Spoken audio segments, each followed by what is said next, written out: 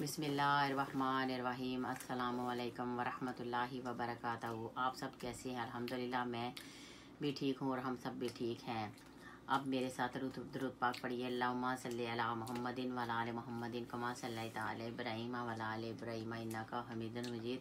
अल्लाहुम्मा बारिक अला मुहम्मदिन व आल मुहम्मदिन कमा बारिक इब्राहीम व अला इब्राहीम, इन्नका हमीदुन मजीद। आज मैं बनाने जा रही हूँ देसी परांठा।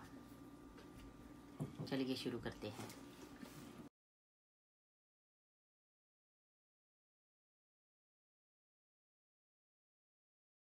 बना लिए। ठीक है? नॉर्मल घर का आटा है, ठीक है?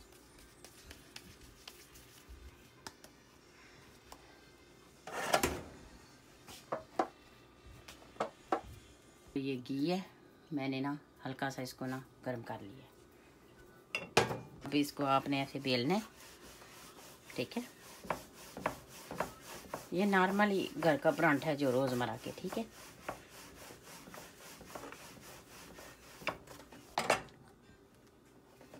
ये अब ऐसे करके ना आपने, ठीक है? ऐसे करते, ठीक है? अब इसके ऊपर घी लगाने लगी हूँ मैं।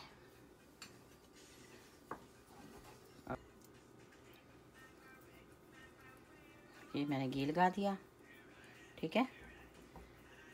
यस इसके ऊपर ये सूखा आटा है जो, ये आपने ऐसे ना डाल देना, ठीक है? और इसके बाद आपने ऐसे कर देना है, ऐसे, ठीक है? ऐसे ऐसे ऐसे ऐसे ऐसे लंबा थोड़ा कर दें इसको, ठीक है? और इसके बाद ऐसे आपने बनाते हैं ना आप सिनेमा रोल, उस तरह ऐसे कर देना आपने, ठीक है? अब इसको कम अज़ कम भी दस से पंद्रह मिनट इस पेड़े को रख दें और उसके बाद आपने इसकी रोटी बनानी है, ठीक है? मैंने जो बनाया हुआ था ना पेड़ा दस मिनट पहले, मैं अब उसको ना ये बनाने लगी हूँ, उसकी अब परांठा बनाने लगी हूँ, ठीक है? देख लें। ये देखें, वो मैंने जो पेड़ा बनाया हुआ था, उसका मैंने परांठा बनाया है।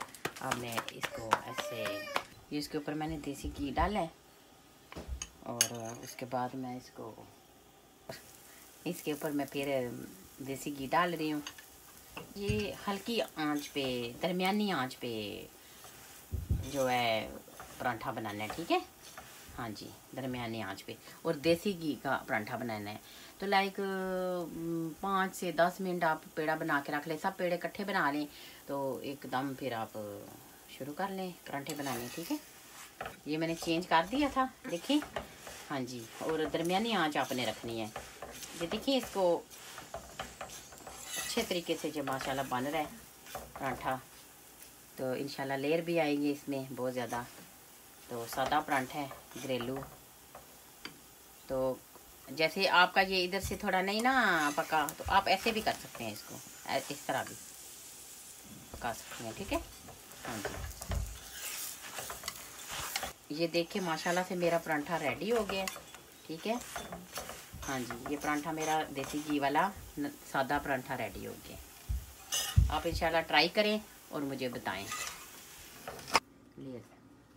ये देखिए मैंने सादा परांठा बनाया है आपके सामने मैंने ये पेड़ा बनाया था और आपके सामने तो आप अगर पाँच मिनट पेड़ा रख भी सकते हैं कई दफ़ा नहीं भी पेड़ा आप रखेंगे तो तब भी आपका ऐसे ही माशाल्लाह से लेयर आएगा ठीक है ये देख सकते हैं आप माशाल्लाह से पूरा परांठे का लेयर है ठीक है तो अच्छा लेर है तो बड़ा सादा परांठा है। और ताज़ा ताज़ा भी आप पेड़ा बना के ना तो आप परांठा बना सकते हैं इस तरह का। शुक्रिया बहुत बहुत देखने के लिए। अगर आपको मेरी रेसिपी अच्छी लगी तो लाइक और शेयर करें। और मुझे दुआओं में याद रखें, मैं भी आपको दुआओं में याद रखूँगी इन मुझे इजाज़त दें। अल्लाह हाफिज़।